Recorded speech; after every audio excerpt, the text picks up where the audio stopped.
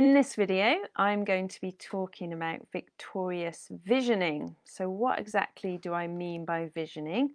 Well, I mean thinking ahead, thinking to something you're, that you're aiming for with your life, um, like a goal or the kind of person, the kind of character that you want to be. You might even want to go so far as to create a vision statement, your kind of pers- purpose and your passion on this earth. Some people call it a mission statement. What does that look like for you? Um, you can write two or three sentences about what you're believed. Uh, believe that you are called to do on this earth, and that could be your vision, or it could be something that you have um, in your head for a few years' time, or how you want to be or feel in the future. So, we're going to be talking about why it can be really important and really helpful to have that vision.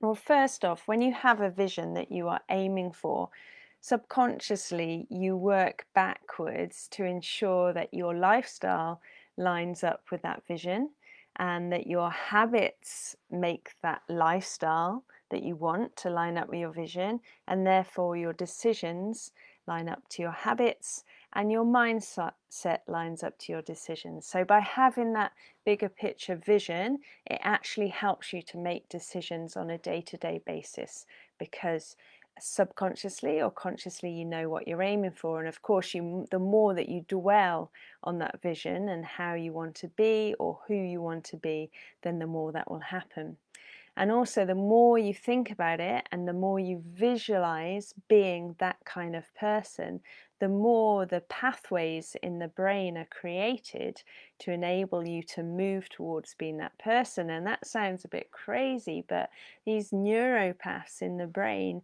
um, they're channels, and the more you think about something, the more those grooves, to be very simple, the more those grooves um, get dug, and so your thoughts more easily progress in that direction in the future, with, with more um, evening, morning, which makes it more likely that you will become that person who you're visioning. And the third point, of course, is it gives you a bigger picture perspective.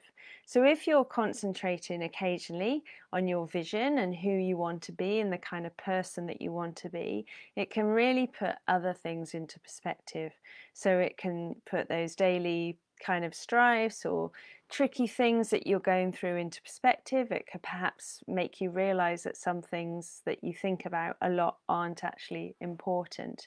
Um, and it can give you pleasure thinking about your bigger vision and make sure that what you're doing in your life lines up with that bigger vision so it can give you that bigger perspective. So, just a quick one really is to say, think about who you want to be, whether that's your bigger purpose or vision that you believe you were created for, the kind of purpose or mission on this earth, or whether that's a vision of how you want to look or feel in, in five months or five years, or where you want to be in your career and use that to your advantage. So think about it so that consciously or subconsciously your lifestyle, uh, your habits, your behaviors, your decisions, and your mind lines up to that and takes you down that path.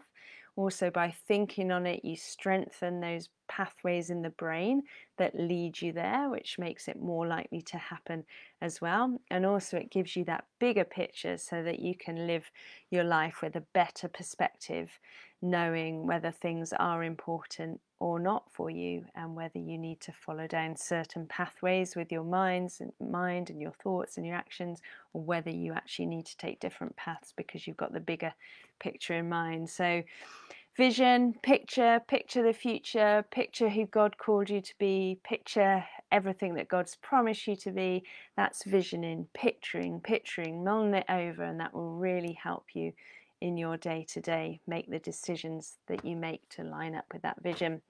Um, hope that was helpful. Do say hello, hello to those watching live. Lovely to see you. And ask any questions or make a comment about what stood out for you there. And I will speak to you all soon. Take care. Bye.